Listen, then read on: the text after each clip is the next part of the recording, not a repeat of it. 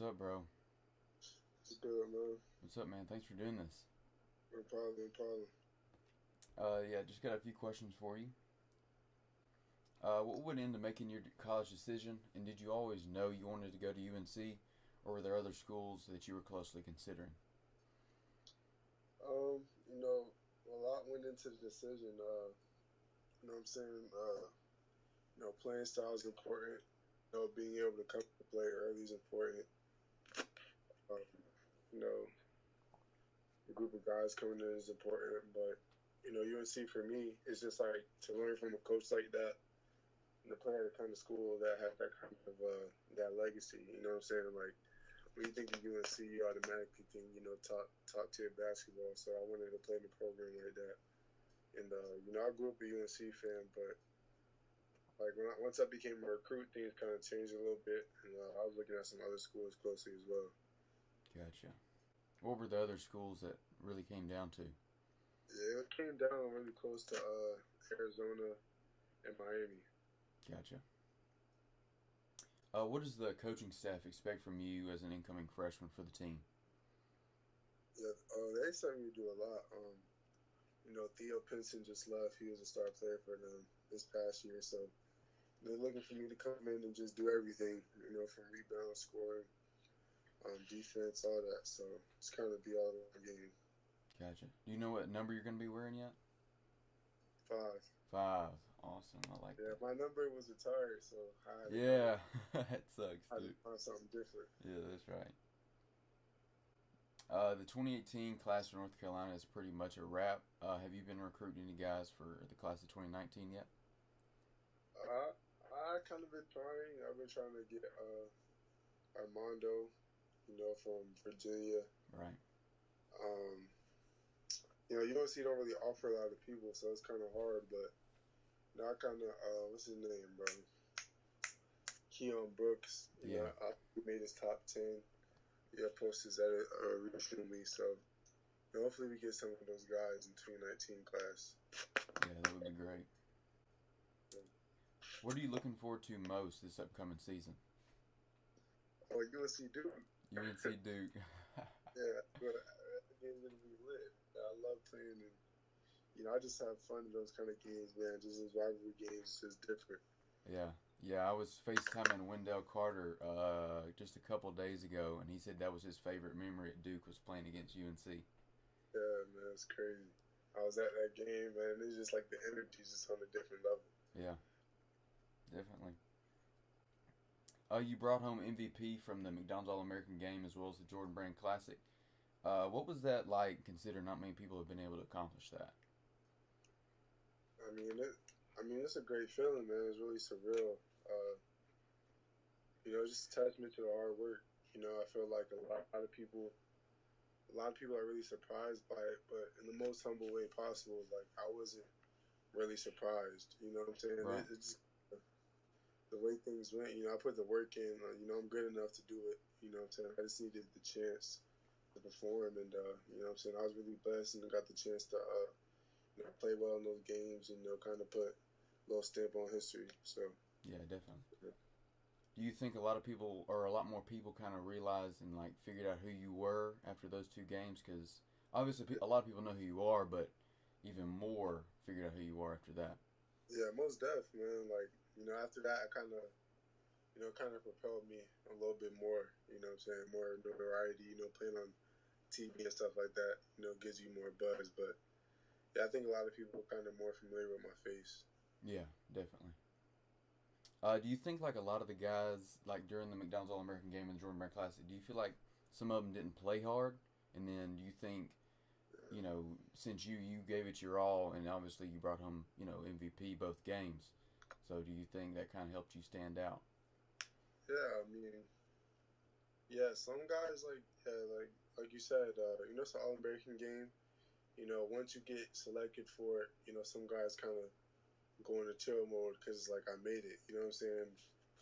Uh, so yeah, I feel like some guys didn't necessarily give it their all, but I think everybody, for the most part, everybody did try. You know, I'm not gonna say like some guys weren't trying. I think everybody tried because it's high level Yeah, you know, definitely. Playing against top guys, so you can't really, you know, go fifty percent. But at the same time, you know, me in the way in the way I am, I, I got to give more. You know what I'm saying? If everybody's at this level, I try to go a little bit higher. So that's what I kind of try to do to separate myself.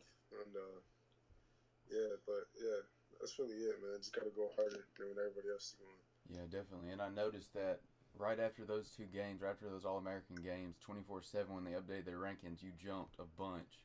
Just because, probably just because of those games, they realized what you could do. Yeah, so. man. I felt I feel like I really showed people. You know what I'm saying? I knew, I knew, I knew I had it, but it just took a took the opportunity just to kind of show people, and I think you know they kind of it opened their eyes a little bit. Um, so yeah. Yeah, definitely. Uh, I saw that high school graduation uh, picture that you posted on Instagram just a little bit ago, uh, for or a while back. For everybody watching this, you talk about destroying any prejudices you have against you as an African American man, and then you talk about how you graduated with honors, and then you mention that smarts are actually cool. Uh, and I really like that caption. So could you discuss that a little bit and what it means to you? Yeah, man. Uh, you know, like you know, as an athlete, you know, just as an athlete in general, you know, regardless of uh, ethnicity or race, you know, people kind of already put you in this in this category. You know what I'm saying? Uh, like, people are surprised when I tell them I had above a 4.0. You know what I'm saying? But there's other people out there. If they said they had a 4.0, it wouldn't even be a question about it. You know what I'm saying? It'd just right. be regular. Um. So yeah, and like you know, UNC, I think you know they got caught up in a scandal a few years back with some classes, and you know I, I received comments like, "Oh, people do, people are gonna give you fake classes and all that stuff," and you know at OCP, kids ask people ask me, "Oh, they do your work for you?" Like that's the first thing people say to me. Mm-hmm. Like, "Oh, I bet you they do all the work for you. You do no work," and it's like, I wonder like why people assume that, you know. So for me, graduating, you know, being a salutatorian in my school, and you know, having uh, multiple honors, I think it was important to let you know let people know that being educated is actually cool. You know what I'm saying? Because you know, a lot of kids look up to me, and I want them to know that education is cool. Because not everybody can be an elite basketball player, but everybody has a brain, and you know, I think that you know that's the strongest muscle in the body. So I think you know being smart it's cool, man. No matter what people say, because people try to make fun of people about it. Yeah. You know, I've never understood it. Like, I've never understood it. Yeah, and having a good brain can, you know, get you a long way too. Get you farther than basketball. Exactly, man. The richest person is not a basketball player. I can exactly. tell you that. Yeah. Yep. Uh, what's your ultimate goal with basketball? I just want to I don't want to just make it to the NBA. You know, a lot of people say that. I want I want to be remembered in the NBA. I want to be a force in the NBA, dominating the NBA. You know, that's my ultimate goal, and just kind of leave a legacy. You know, I don't want to just be you know a regular player. I want to be a player that is the household name that people remember for years to come. And you know, that would be if I was, if I was able to accomplish that, then I'd probably take off, you know, everything I need to do.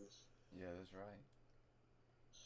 Uh, I noticed you're currently predicted as the third overall pick uh, on Sports Illustrated's mock draft for 2019. Is your goal to be one and done, or are you even worried about the NBA at this point? Uh, for me, like, hmm, that's a.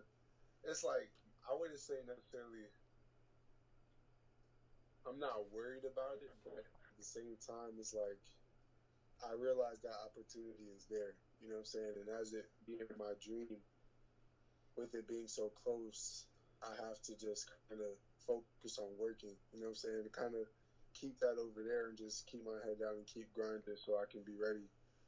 Uh, you know, obviously, I do want to go to the NBA as soon as possible. You know what I'm saying? If that one and done opportunity is there after this year, then I'll, I would probably look into that.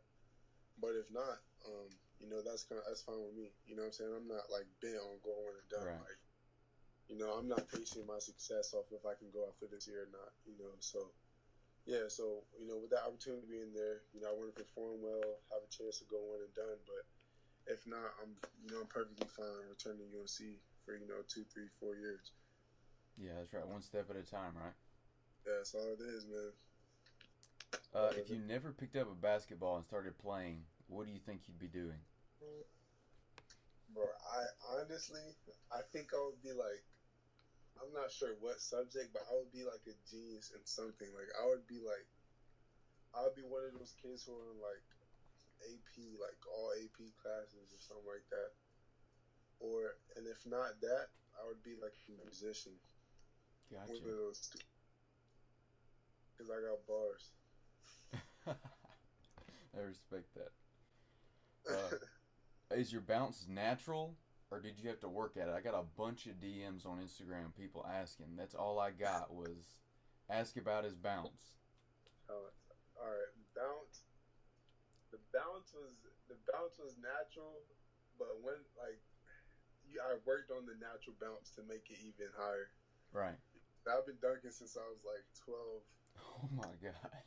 Like that's just natural. You know what I'm saying? I was like five nine, just dunking at twelve. So like that's just natural.